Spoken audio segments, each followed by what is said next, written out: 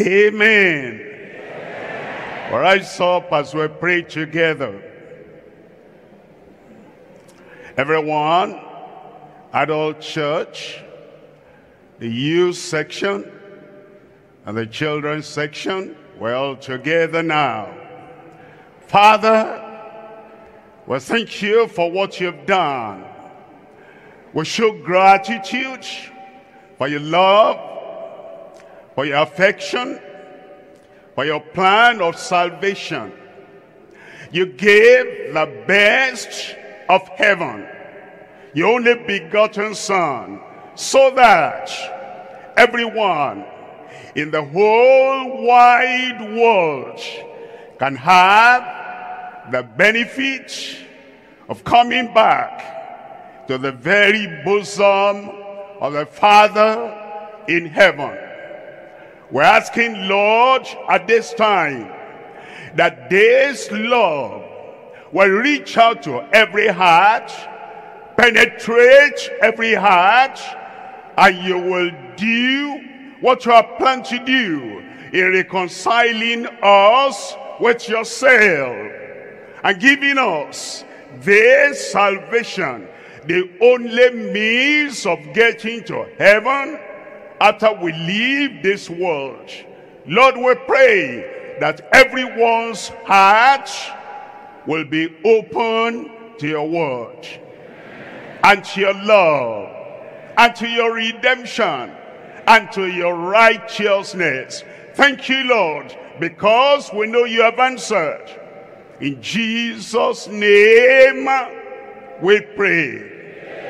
And the whole church said, God bless you. You can sit down. We're considering Jesus, Emmanuel. Emmanuel, the Son of God. And now, Emmanuel, Jesus, the Savior.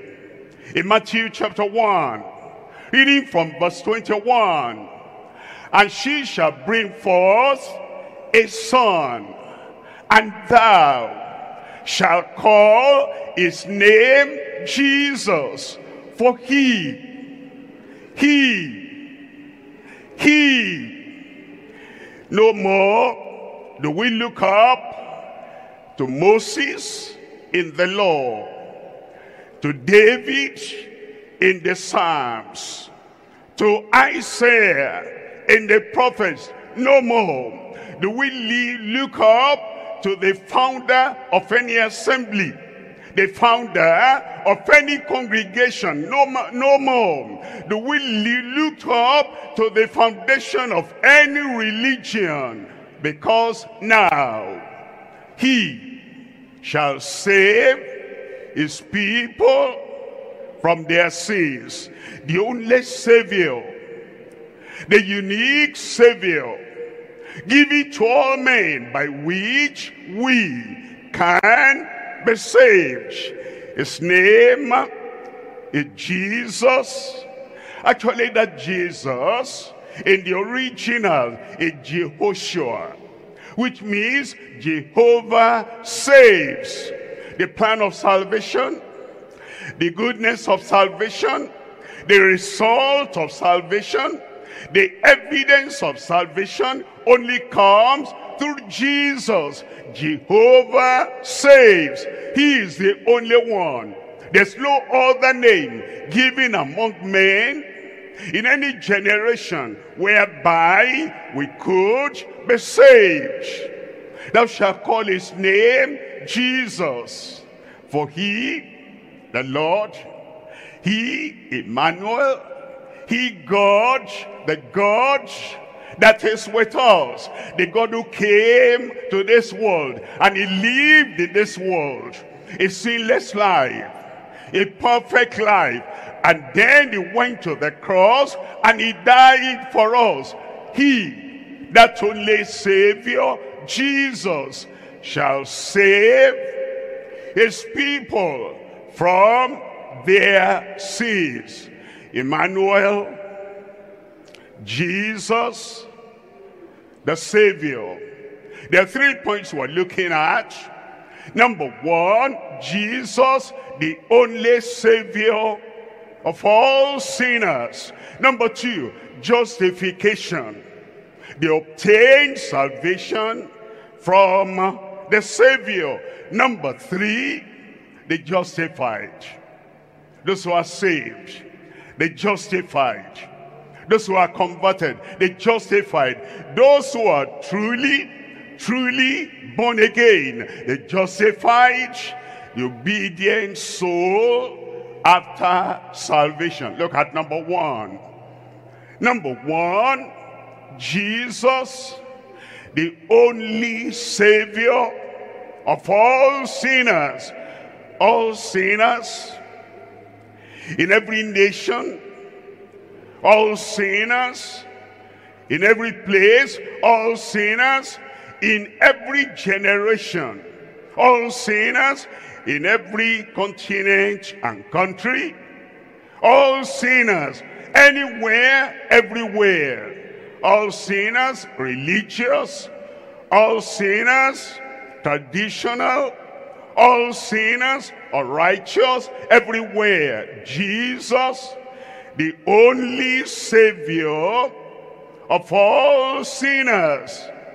Look at Acts chapter 4, reading from verse 10. It says, Be it known unto you all. No exception. Everyone should hear. Everyone should know. Everyone should understand. Everyone should apply the word to himself. Be it known unto you all and to all the people of Israel and to all the people of this nation and to all the people of all nations and to all the people everywhere in the world that by the name of Jesus Christ of Nazareth whom he crucified whom God raised from the dead even by him.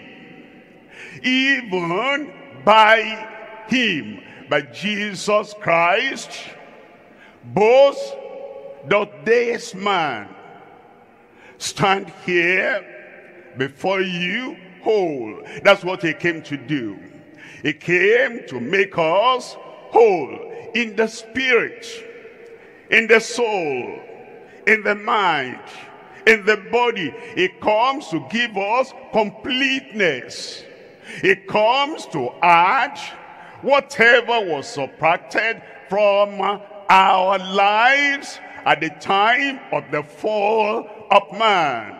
And now his name, through faith in his name, he makes us complete, whole.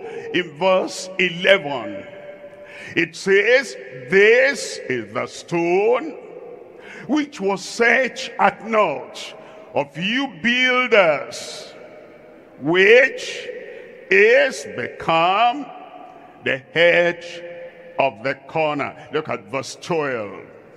In verse 12, it now tells us, neither is there salvation, real salvation, heaven sent salvation, life-changing transform uh, uh, salvation transforming the life of people through that salvation it says neither is there salvation present salvation future salvation final salvation neither is there salvation in any other for there is none other name under heaven, given among men, whereby we must be saved.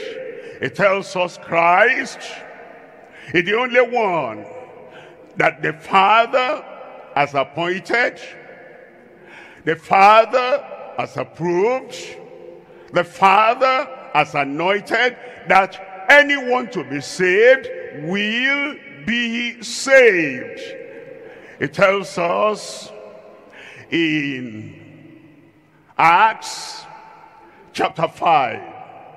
Acts chapter 5, it tells us in verse 30. Acts 5, verse 30. The God of our fathers raised up Jesus, whom ye slew and hanged on a tree. Verse 31. It says, Him, Christ. Him, Emmanuel. Him, Jesus. Him, as God exalted with his right hand to be a priest and a savior. The Father, the God of heaven, the God of the whole universe, he raised up Jesus to be a priest and he raised him up to be a savior. Appointed, approved, anointed, and now we will accept him. Savior, for to give repentance to Israel and forgiveness of sin. Understand? He is the only Savior of sin, of sinners that have been given uh, unto us. It tells us in First Timothy chapter 2 from verse 3 but this is good and acceptable in the sight of God our Savior. Verse 4. In verse 4 it says, who will have all men to be saved. He wants everyone saved. He wants you saved. Saved in a definite way. Saved at a definite time. Saved in such a clear manner that heaven will attest to that salvation. There may be people who carry on, who carry about a salvation not approved of the Father. Self-salvation. Pretended salvation. Hypocritical salvation. A make-believe salvation. But the salvation accepted of the Father, approved of heaven, that is evident from heaven and on earth. That salvation he wants to give all men and to come to the knowledge of the truth. When we're saved, we come to the knowledge of the truth. And then he says in verse 5, in verse, in verse 4, in verse 4 it says, you will have all men to be saved. He'll have you to be saved. And if you don't have assurance of salvation, if you're only religious, and the Spirit of God is not bearing witness in your heart that you are truly saved. He wants you to come to that knowledge of the truth of salvation right now. Verse 5, it says, For there is one God and one mediator, only one, only one. It is not uh, one mediator for Africa, one mediator for America, one mediator for Asia, one mediator for men, one mediator for women, one mediator for the religious, one mediator for the traditional, only one mediator between God and men, the man Christ Jesus. The man Christ Jesus. If the Lord is going to have you in his kingdom, established in his kingdom, known with evidence that you are living the kingdom life. There's only one person that can do that. Christ Jesus. Look at verse 6. In verse 6, who gave himself. He gave himself so that you and I will be saved. He gave himself so that you and I will have this heaven sent salvation. Not head salvation. Knowing so many scriptures. Knowing the word. But not having our hearts transformed. Heaven sent salvation transforms heart. Transforms life. And changes all that need be changed in our life. He gave himself a ransom for all. Look at that again, for all. That means for everyone, for you, for me, and for everyone under the sun to be testified in due time. This Jesus who came from heaven, he lived a perfect life. In fact, that the reason he could be our Savior. Because one sinner cannot save another sinner. Because somebody who fell into the well, into the well and the pit of iniquity and sin, and is still struggling for himself to come out, he cannot bring another person out of that well. But because he didn't fall into the well, he didn't fall into sin, he didn't do anything evil, God said, it's my beloved son. I was pleased with his life. And Pilate said, I have, I find no fault in him. And he challenged the people, which of you convinced me of sin? And because it was spotless, it was sinless, it was perfect, he lived a consistent, holy, righteous life. That's how he could be our Savior. In First John chapter 3, we're looking at verse 5. First John chapter 3 verse 5. And ye know that he was manifested to take away our sins. He was manifested for one reason.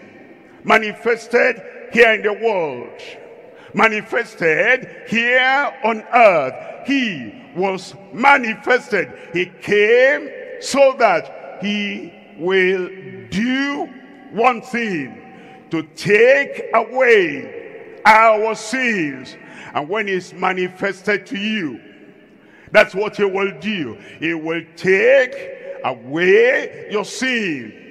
Sin in your heart, sin in your affection, sin in your plan, sin in your project, sin from your character, sin from your life. He, Christ the Savior, came for only one thing, that he will take away sin away from your life. And in him is no sin. In him is no sin. In his nature, he didn't have the nature of sin. In his utterance, he didn't have any speech that led to sin. In his doctrine, no sin. In his life, no sin. In his interaction with anyone on earth, no sin. And he said, the prince of this world cometh and has nothing in me.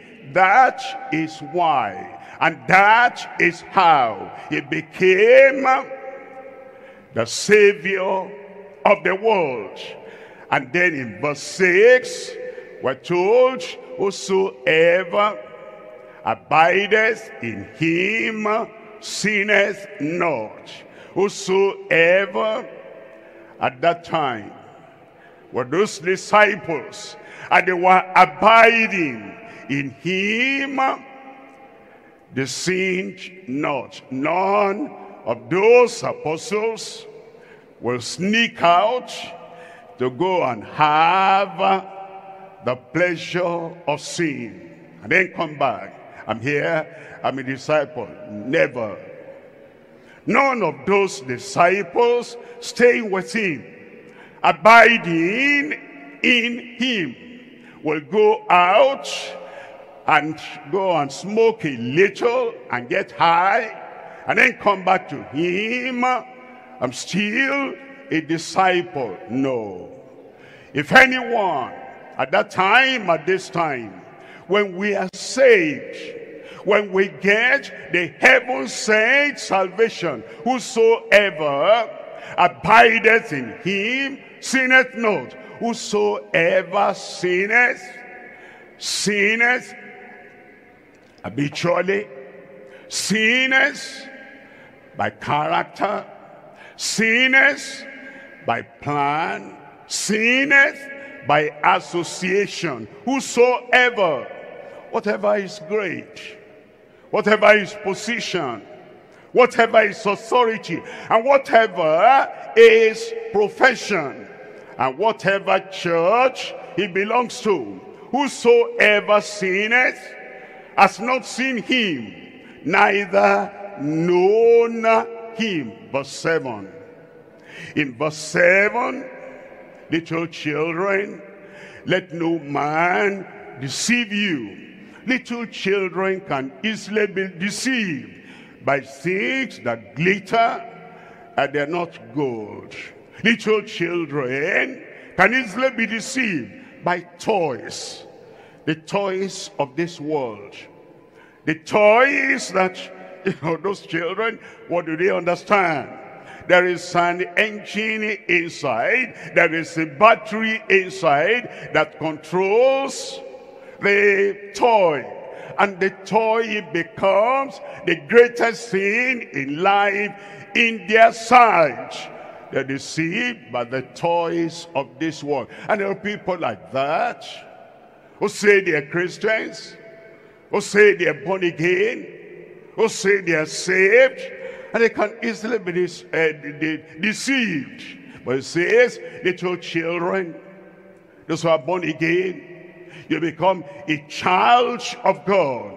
You've turned away from Satan, your master, your ruler, and your God. But you've turned unto the Lord. It says, little children, let no man deceive you. And there are people that voluntarily submit themselves to deceivers.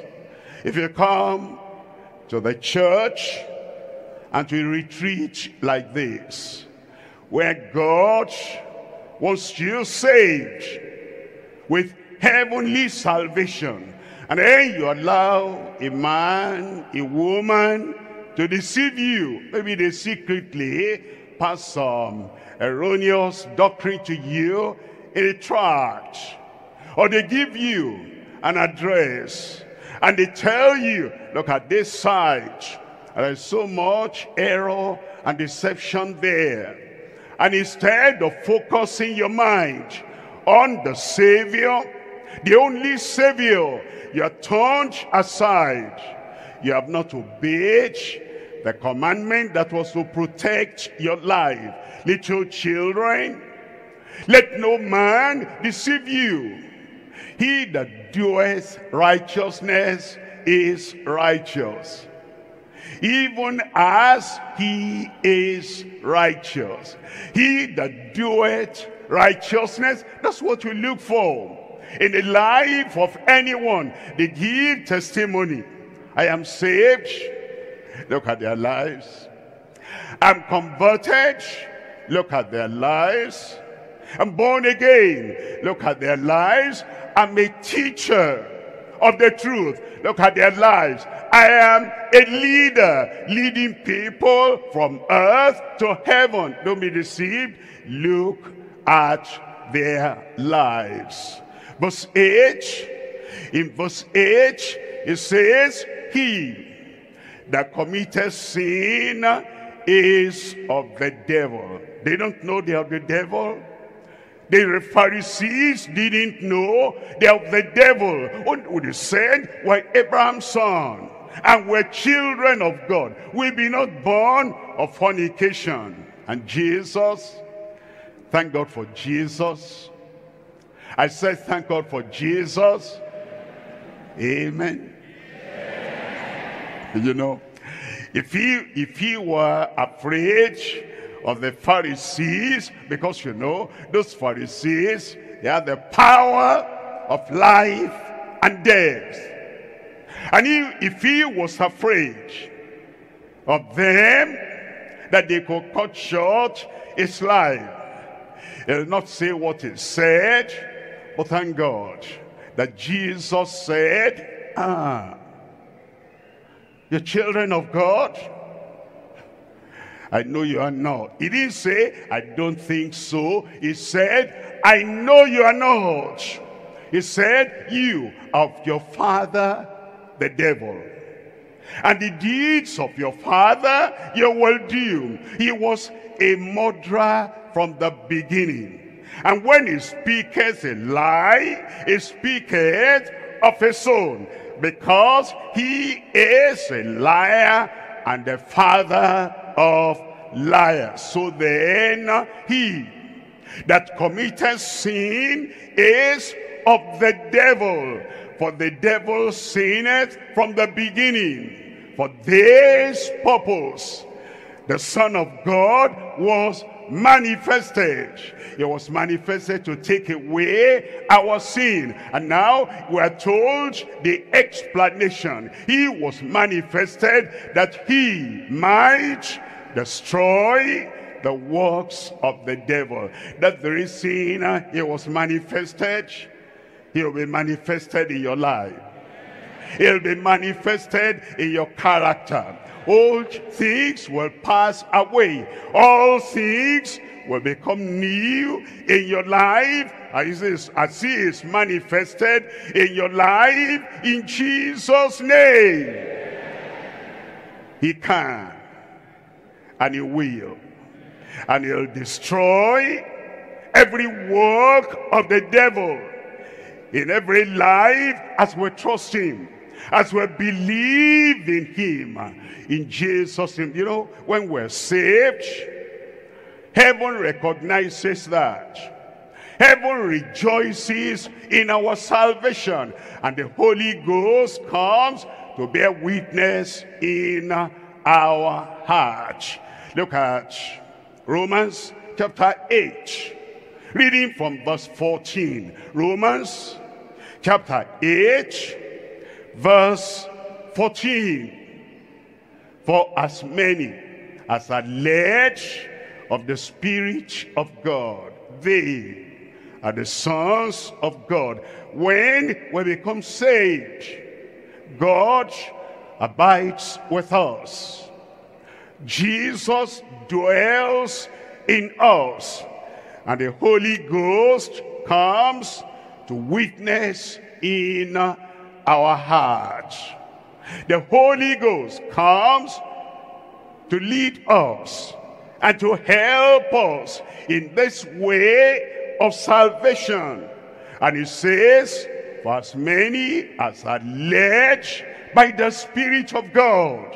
Now, the Spirit of God will not lead us into carnal things, into fleshly things into the works of the flesh. The Spirit of God will not lead us into iniquity, into immorality. He will not lead us into idolatry. And when we have heaven sent salvation, we're led by the Spirit of God. All those who are led by the Spirit of God, not by the example of the world, not by their carnal nature anymore, not by their fleshly uh, kind of propensity anymore. Those who are led of the Spirit of God, they are the people that become the sons of God. Look at verse 16. In verse 16, it says, the Spirit itself beareth witness with our spirit that we are the children of God. When you insult another person, the Spirit of God cannot bear witness, uh, you know what your spirit, that's right, you're a child of God. When you're rebellious against the word of God, the Spirit of God will not come to bear witness with you. That's right, well done, you're a child of God. When you're righteous, when you're immoral, when your flesh drives you to do and to say or to dress in a way that exposes you to the opposite sex and makes you a source of temptation, the Spirit of God will not come and say, that's right, that's good, you're doing well, keep on doing that, you're a child of God. No. If the Spirit of God ever witnesses anyhow in your life, it will remind you, you're not converted yet. You're not born again yet. You're religious. How did you find yourself in a church that is called Deeper Life? And your life is shallow. And your life is sinful. When you are born again, the Spirit of God comes and He bears witness in your heart. That is the way of the children of God. It says, the Spirit beareth witness with our spirit that we are the children of God. We come to point number two. Point number two justification. They obtain salvation from the Savior. He comes to justify us. The law of Moses could not justify. Our own self-effort could not justify us. But Jesus, the justifier, he came to justify us. He does not justify us in sin. He justifies us out of sin. Justification, you obtain salvation from the Savior. In Romans chapter 5, reading from verse 1. Therefore, being justified by faith, we have to believe in what Christ has done, in what Christ has come to do. We have to believe in the sacrifice that he made. We have to believe that this is the Savior, the only Savior. And as we believe in him, we trust him, we don't trust ourselves. We trust him, we don't trust our works. We trust him. We don't trust our sacrifice. I've sacrificed this. I've sacrificed that. I've sacrificed that other thing. I gave up this position in the world. That does not justify us. Justification comes by trusting in the atoning work of Christ on the cross of Calvary justification, they obtained salvation from the Savior. Therefore, being justified by faith, we have peace with God. You're justified, no more condemnation. Of course, if you're doing the same old sin uh, every time, your condemnation remains. If you're living by the flesh, your, your condemnation remains. If you have a carnal mind, a carnal life, and a carnal man, mind cannot please God, you're not going to have peace with God. It's when you have repented, you turned away from sin, and in all sincerity, you're living in the goodness of the provision of the salvation of the Lord, and you're not offending God, rebelling against God, that's when peace with God comes. Therefore, being justified by faith, we have peace with God through our Lord Jesus Christ. It becomes not only your Savior, it becomes your Lord, our Lord Jesus Christ. And He rules over your life. He rules over eh, every action. Look at verse 2. And then it says in verse 2, by whom also we have access by faith into this grace. Wherein we stand and we rejoice in hope of the glory of God. It tells us in Romans chapter 4. Reading from verse 22. Romans chapter 4 verse 22. Therefore, it was imputed to him for righteousness. He believed in God. That's Abraham. He trusted in God. That's Abraham. And that faith and that trust. But he didn't remain in the old country. He didn't remain with the old life partners he left them and came out of the Ur of the Chaldees. And then the Lord said, I'll make you a blessing. I'll make you to be a blessing to all the nations of the world. And he believed that. We believe after we have obeyed the Lord. We come out. Come out of sin. Come out of darkness. Come out of our evil and when we trust God like that, it justifies us. In verse 23, it says, Now, it was not reaching for his sake alone, but that it was imputed to him. Verse 24. In verse 24, but for us also you come out of the old life like he came out of the Ur of the Chaldees. You believe in his faithfulness. You trust the promise he has given you. And then he says, for us, for whom, to whom it shall be imputed if we believe on him that raised Jesus our Lord from the dead. Verse 25. In verse 25, uh, who was delivered for our offenses. It was delivered for all the offenses were committed. And then he was raised again for our justification. Justification after you are forgiven, after you are justified, the Lord looks at you just as if you never sinned. Because all the sins are now blotted out.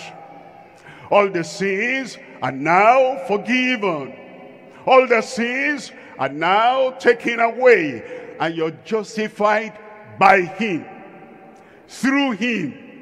In him he is now our justifier. He was raised again for our justification. Romans chapter 3. I'm reading from verse 23 and verse 24. In Romans chapter 3 verse 23, for all have sinned. And nobody can justify himself.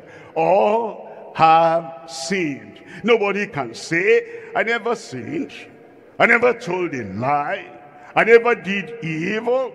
I never stole. I never committed that. I never committed that. All have sinned. If anyone says, I have never sinned, he deceives himself. And the truth is not in him. All have sinned and come short of the glory of God. Verse 24. In verse 24, it says, being justified freely. That's the only way to be justified. We come to the Lord. He paid the price. And he paid the full price. And his blood cleanses us from all sin. And now we're justified freely by the grace, by his grace, through the redemption that is in Christ Jesus. And after we're justified, we abide in him. We remain in him so that we can remain just.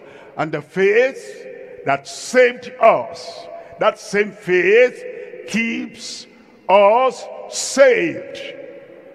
Hebrews chapter 10, reading from verse 38. In Hebrews chapter 10, verse 38. Now, the just, the justified, the one who possesses justification. Now the just shall live by faith. The same faith that saved us. We keep on living in that faith. By that faith. Now, the just shall live by faith. But if any man draw back, I have position, will sit on the, on the seat of power, position, authority, like the Pharisees. But in our heart, we've gone back. In our lives, we've gone back. In a disposition, We've gone back in the plans, in the works, in the activities of our hand. We've gone back. And he says, if any man draw back, my soul shall have no pleasure in him. And now verse 39 says, but we, those of us who are steadfast, but we, those of us who know the only way to get to heaven is through Christ the justifier. And because we know that, we're not coming in, coming out. We're not making the time of our presence in a sight, making that a time of careless living, of carnal living, of corrupt living, we know we have to be steadfast in Christ, steadfast in righteousness. Those who are like that, we are not of them who draw back unto perdition, but of them that believe to the saving of the soul. We go on and on in the Lord saved and remaining saved. It tells us in his word in Acts chapter 13.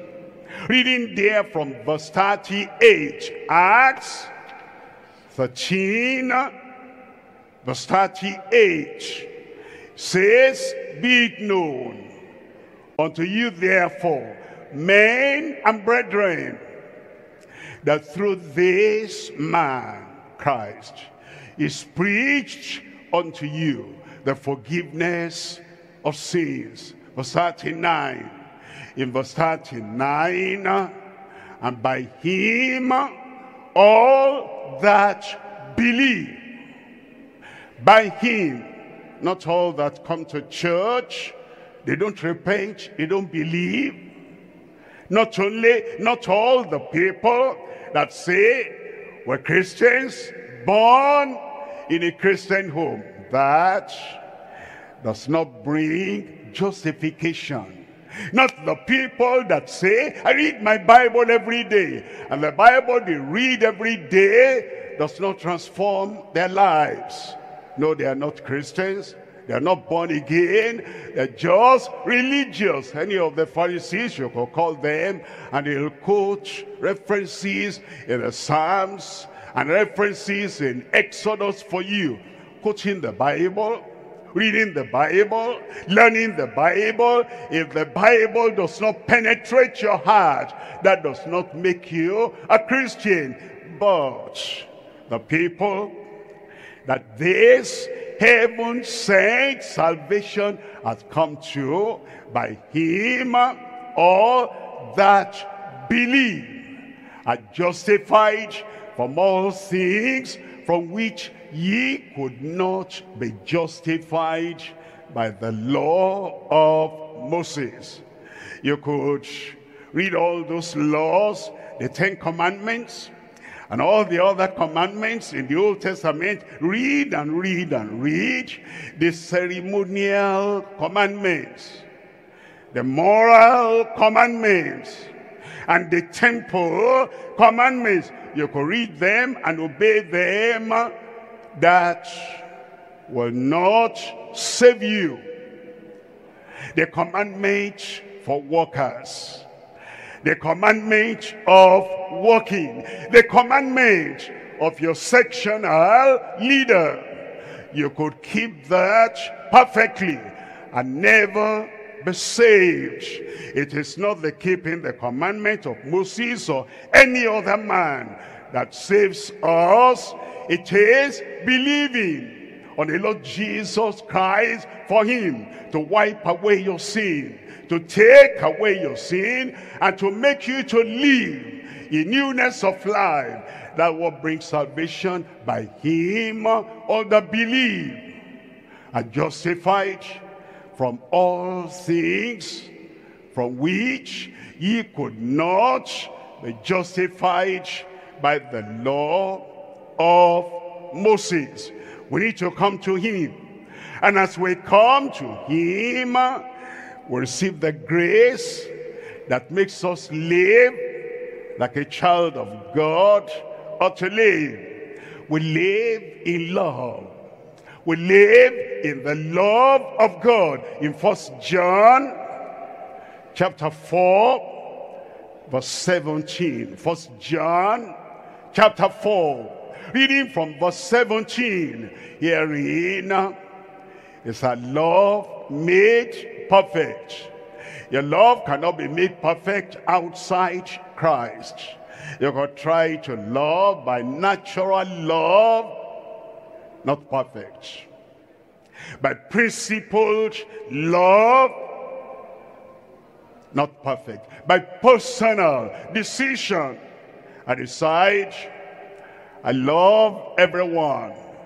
You love them superficially. When you are happy, when you are sad, when you are sorrowful, when you are missing something, when people do not give you what you think they ought to give you, the love will evaporate.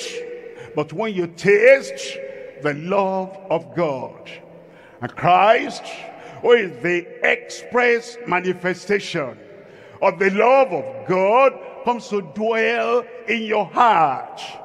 That's when the evidence of salvation will be there. Hearing is a love made perfect. That we may have boldness in the day of judgment. Because as he is, so are we in this world. A sinner cannot say that. A backslider cannot say that. A religious man, a religious woman cannot say that. A person that just coming and come coming, coming to the church, not life changed. He cannot say that because as he is, so are we in this world verse 18. In verse 18, there is no fear in love. There is no fear in love. If you want your wife to fear you, your love is not perfect. Your act, your action, you're doing everything so that like your past, old mother feared your father, but you know there's no born again experience in the home. Like your mother feared your father. I want her to fear me. The love of Christ is not there. There is no fear in love, and there is no love in fear. If your parents fear you, you're unfortunate. Because there's no love in fear, there's no fear in love. If your neighbors fear you, and you want them to fear you, you want anytime you pass, anytime you come, you want the thunder of fear to strike their heart. You're not of Christ. You're not born again. You're not going to heaven. It takes love. Love without fear to get to heaven. If you want your seniors outside the church or in the church to fear you, you're not born again. You're here to produce the property, the plant of the devil. The devil wants everyone to fear him. And that's how the world behaves. You fear the devil. But when you come to Christ, and the Lord walks in your heart, and you are saved by love, the love of Christ in the heart of man. For God so loved the world that he gave his only begotten son, that whosoever believeth in him shall not perish, but have everlasting life. When you are saved by love, you're saved to love. There is no fear in love, but perfect love casteth out fear. Because fear has torment. Fear has torment. It torments the heart. The heart begins to palpitate. Fear has torment. Fear torments the brain, the mind, the things you wanted to say before for the good of the people. You can't say them, you're forgotten them. Because fear brings forgetfulness in the brain. Fear makes you to miss your steps. An athlete is running. And then somebody from the audience says something that gets into him. He will miss his step. He will lose the race. Fear has torment. You're taking uh, an exam. Suddenly, you remember something uh, that daddy said, mommy said, that brings panic and fear in your heart. You're not likely to pass that exam. Fear has torment. But when we love, with perfect love, Christ-like love, and we love him as he has loved us, we operate seamlessly because now there is no fear. It gives you assurance and gives you boldness. He says, he that feareth is not made perfect in love. He that feareth, he that feareth sinners, is not made perfect in love. He cannot tell all the sinners what they ought to hear to be saved. He that feareth members of the church is not made perfect in love. He cannot serve them. He cannot minister to them. He cannot show them uh, the way of holiness and the way of sanctification is too fearful, fidgeting. He cannot declare the way to heaven with all his heart. He that feareth the sick people, he cannot minister actually in love. He has to pray because afraid if I don't pray like this, they might do this against me. He's not praying with his heart. He's not praying with faith.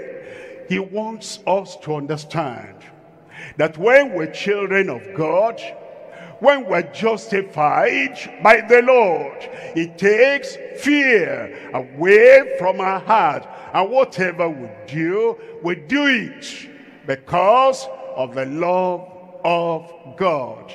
Not because if I don't do that, I'll face this. If the church is like that, and if you are contributing to fearfulness, fidgeting, fretting uh, in the church, you're not a good instrument in the church. Whatever your area of work, find out what's your purpose. Find out what's the reason why you do what you do. Why you say what you say. Is it to make the people fear you? You're not here to serve God.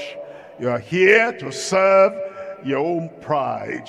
There is no fear in love. And there is no love in fear. But perfect love casteth out fear. Because fear has torment.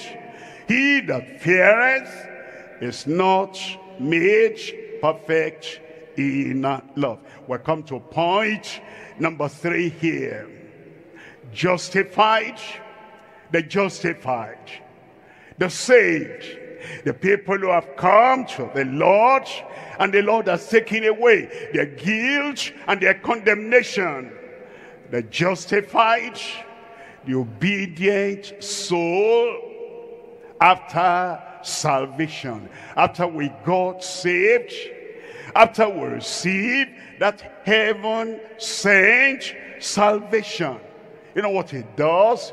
He gives us a heart, a life, obedient to his word.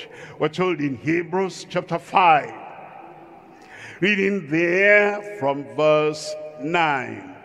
Hebrews chapter 5, verse 9. And being made perfect, talking about Christ, he became the author of eternal salvation unto all them that obey him. Eternal salvation unto all those that obey him. There is no eternal security, eternal salvation for all those that disobey him, that rebel against him, that contradict his word, that live sinful lives. Uh-uh. There's no eternal security for them. Already we have read, if any man draw back into disobedience, into lawlessness, if any man draw back, my soul, that God talking, shall have no pleasure in him. And then the people that have eternal salvation are the people that obey him. First Peter chapter 1, reading from verse 3.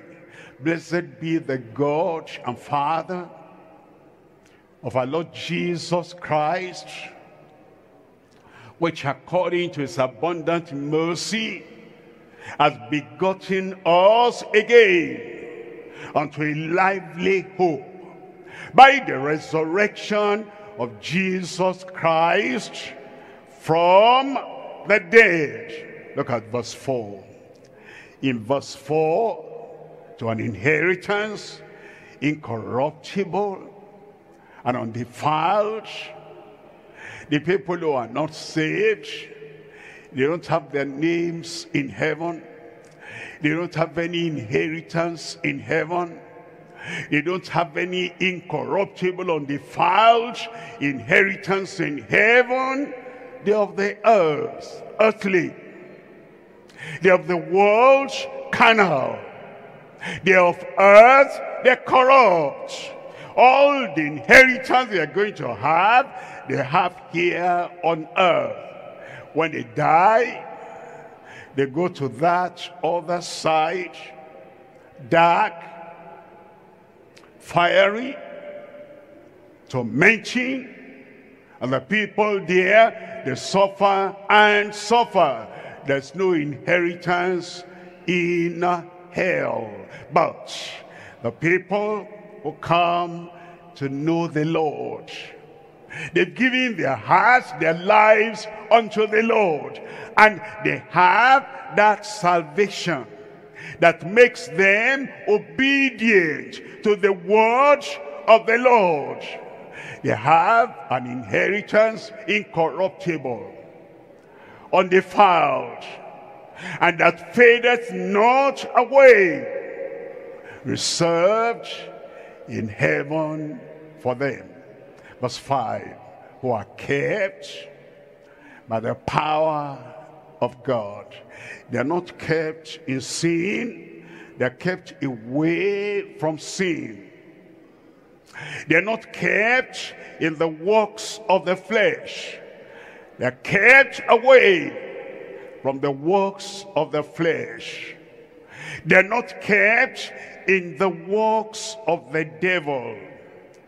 They're kept away from the works of the devil. They're not kept in disobedience. They're kept in obedience to the word of the Lord. They're not kept in unrighteousness.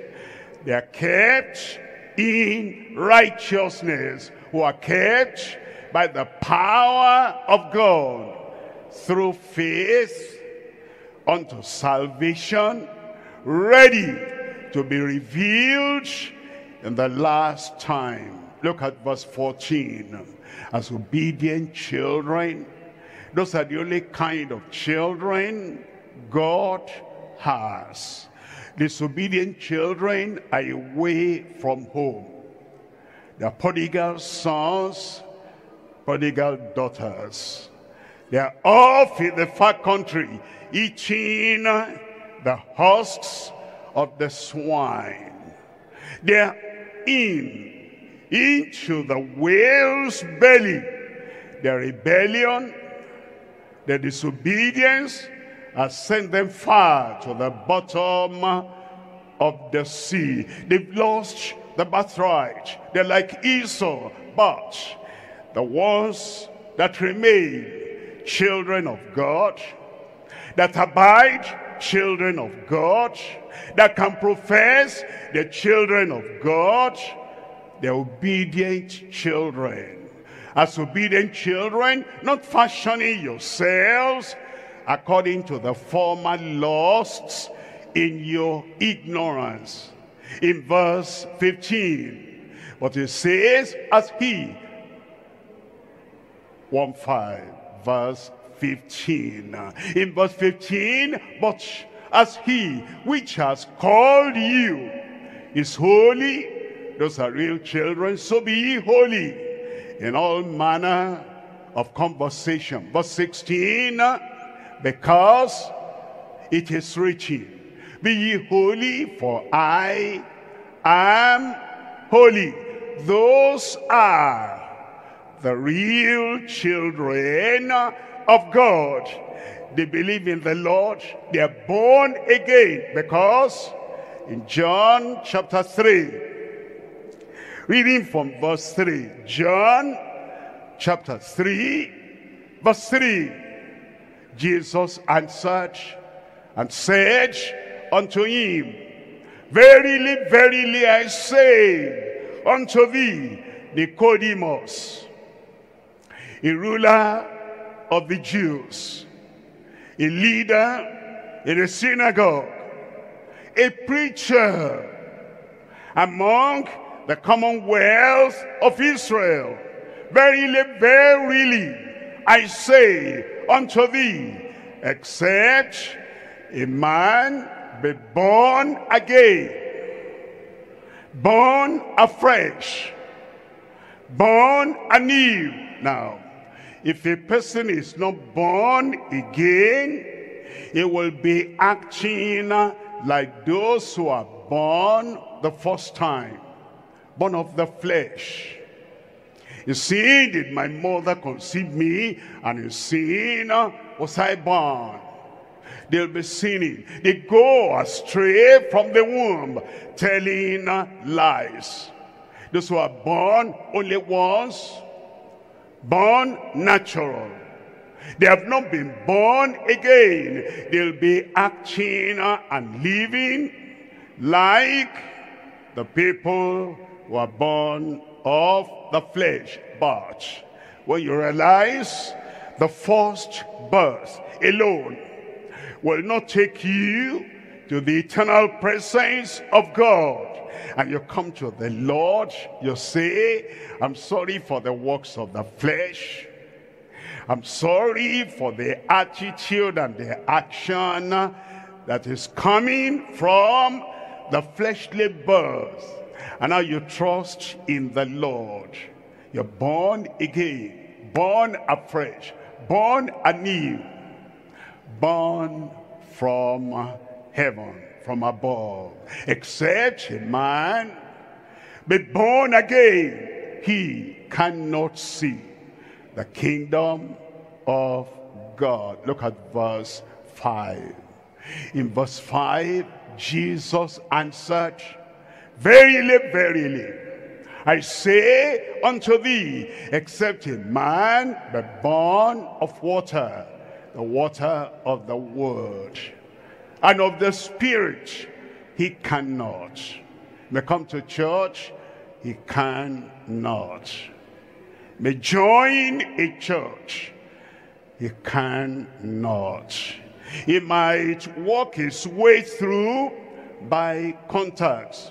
I know him, he knows me, and become a worker, a server, an important personality in the visible church.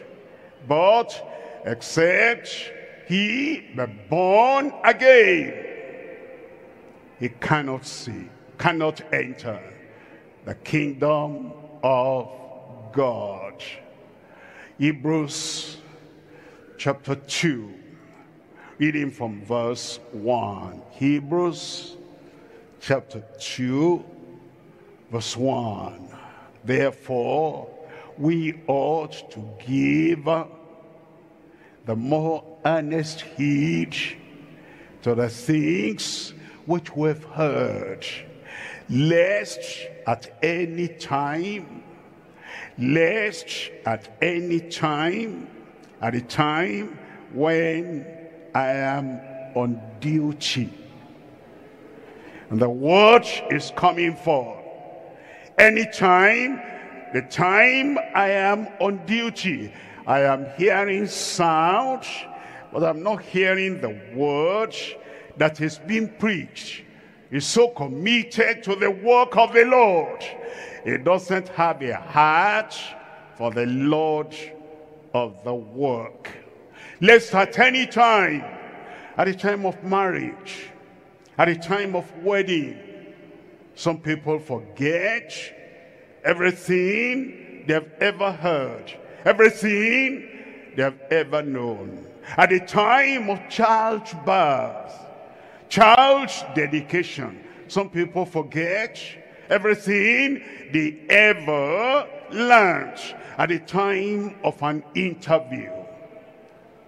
They forget, let no lie, corrupt word proceed out of your mouth. And for that interview in church or at work, they forget everything they have learned. Lest at any time, at the time of temptation, they forget everything they ever learned at the time of prayer. They forget everything they've heard in the message. Now they pray, pray, pray. But the usual prayer, asking for the usual thing, uh, and the real sin the Lord has spoken about in the message, they have forgotten. He says, therefore, we ought to give the more earnest heed to the things which we have heard, lest at any time we should let them sleep. Look at verse 2. For if the word spoken by angels was steadfast, and every transgression, God does not pass by any transgression. The one you do outside, that's bad enough. And the one you come to do in his very presence, where two or three are gathered in my name, there I am in the midst of them. You come to church, you come to the assembly of the gathering of the people of God and you carry your rebellion from the office into the church. It does not pass by any transgression. About the one you're doing uh, in his presence? And he says, every disobedience receives a just recompense of reward. Verse 3. How shall we escape judgment?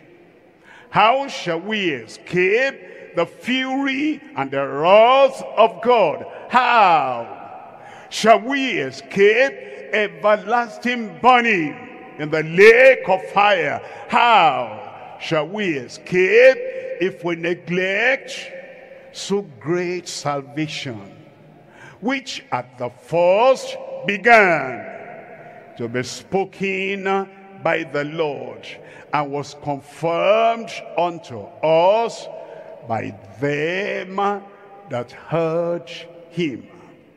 He wants us to have heaven sent salvation. He wants to have life, us to have life transforming salvation. He wants us to have the salvation that goes beyond religion. Matthew chapter 5, verse 20. In Matthew chapter 5, verse 20, here the Lord Jesus Christ affirmed and confirmed. But I say unto you that except your righteousness shall exceed the righteousness of the scribes and the Pharisees. Ye shall in no wise, in no case, enter into the kingdom of heaven. What the righteousness of the scribes and the Pharisees, external righteousness, washing the hand, they took hygiene to become religion. Clothing themselves a particular way. They took the badge of identification. That's a Pharisee. It's a badge of identification. That's that church, a badge of identification. They took the badge for being born again for being children of God. And Jesus said, except you have inward righteousness, except you have the internal righteousness, except you have the spiritual, life-transforming, spiritual, supernatural righteousness given from heaven and coming through Christ.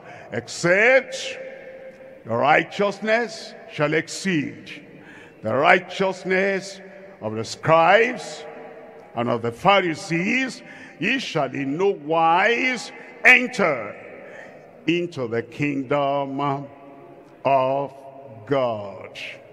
He wants our lives to show the righteousness by the cross from Christ coming from Calvary.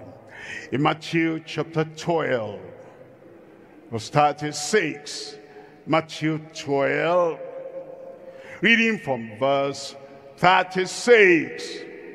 But I say unto you that every idle word that men speak, they shall give account thereof in the day of judgment. Christ said, every idle word, I don't accept that idle word.